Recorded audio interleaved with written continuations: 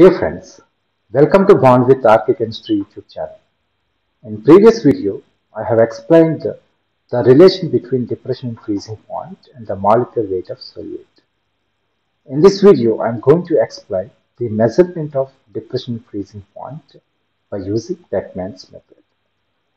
For the measurement of depression freezing point, there are two methods. There are two simple methods. The first one is the Beckmann's method the second one is the Rast-Camphor method.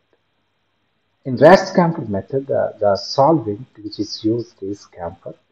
This method is suitable for the determination of molecular weight of solute which is dissolved in the solvent that is camphor. In this video, I will explain uh, the measurement of depression freezing point by using uh, by using Beckmann's method. In the Beckmann's method, the apparatus uh, consists of uh, inner freezing tube. This one is inner freezing tube. This one is fixed with uh, this one is fitted with Beckmann's thermometer and platinum stirrer. This inner freezing tube is fixed with the outer tube. In between inner tube and outer tube, uh, there is a gap. The gap will act as a air jacket, which can prevent sudden cooling of the inner tube. And we have a larger vessel which contains freezing mixture. In this method, generally we use a, a mixture of uh, ice and sodium chloride as a freezing mixture. This uh, freezing uh, mixture containing vessel is fitted with uh, a stirrer, platinum stirrer, which can homogenize the temperature of the freezing mixture. This is the apparatus setup uh, which is used in Beckmann's method. Let's take the procedure. In this procedure, we have to introduce 20 gram of the solvent into the freezing tube through side arm of the freezing tube. Next, we have to immerse the Beckmann's thermometer into the solvent to measure freezing point of the solvent. Next, we have to dip uh, platinum stirrer into the solvent uh, which is present in the freezing tube. The stirrer will homogenize the solvent uh, which is in the freezing tube. Next we have to take the freezing mixture uh, in the cooling bath. In cooling bath we have to take freezing mixture. The freezing mixture will be homogenized by using this uh, platinum stirrer. This method, first we have to determine approximate freezing point by placing the freezing tube directly on the cooling bath.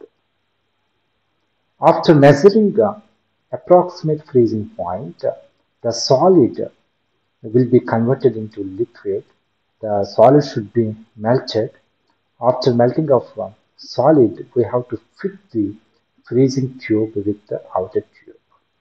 Then we have to place this whole setup on cooling bath.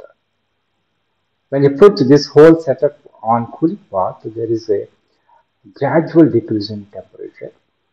Then there is a conversion of this liquid into supercooled liquid.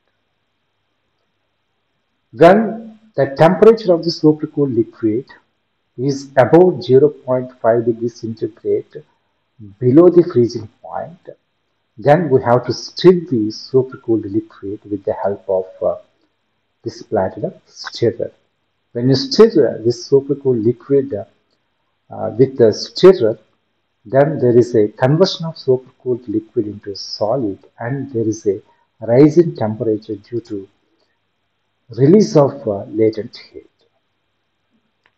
And there is an increase in temperature, it reaches the maximum and uh, after that there is a, a, maximum constant temperature. That maximum constant temperature indicates the freezing point of the solvent. After recording actual freezing point of the solvent we have to remelt the solid into liquid. After remelting of uh, solid into liquid we have to introduce 0.2 gram of solute into the freezing tube via side arm of the freezing tube. Then there is a formation of uh, solution. For the measurement of freezing point of the solution, we have to repeat the above procedure. That is, first we have to find out approximate uh, freezing point of the solution. Next, we have to form supercooled liquid of uh, solution. When there is a formation of supercooled uh, liquid, when you agitate that uh, supercooled liquid, then there is a formation of uh, solid and there is an increase in temperature due to uh, release of latent heat and it reaches maximum and uh, the temperature will be constant. We have to record that the maximum constant temperature that maximum constant temperature will indicate a freezing point of the solution. In this method, we have to observe some precautions. The first precaution is uh, the temperature of the supercooling liquid should not exceed 0.5 degrees centigrade of the freezing point. Should not exceed 0.5 degrees centigrade of the freezing point of the approximate freezing point of the solvent or solution. And uh, the stirring should be uniform at the rate of about 1 moment per second. Throughout this experiment, uh, the stirring should be uniform. It should be, uh, the stirring rate should be 1 moment per second. And the temperature of the cooling bath, this is the cooling bath, should not be 4 to 5 degrees centigrade below the freezing point of the liquid. It should not be 3 degrees centigrade or 2 degrees centigrade below to the freezing point of the liquid. It means uh, the difference of uh, temperature of cooling bath and uh, the freezing point of the liquid should be in between 4 degrees centigrade to 5 degrees centigrade.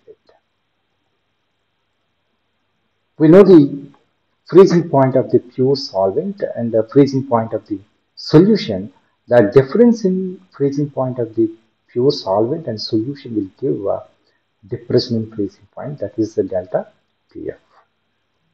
So we can calculate delta TF uh, by taking the difference in between uh, difference of uh, freezing point of uh, pure solvent and freezing point of solution. By this equation we can calculate the molecular weight of uh, solute that is MB is equal to Kf into Wb by delta Tf into 1000 by WA. Here Kf is a molar depression constant of the solvent and Wb is the weight of the solute in grams. WA is weight of solvent in grams. Delta Tf, this is the depression in freezing point. So when you put all these uh, in this equation, you will get a molecular weight of the solute. Thank you. Thank you very much.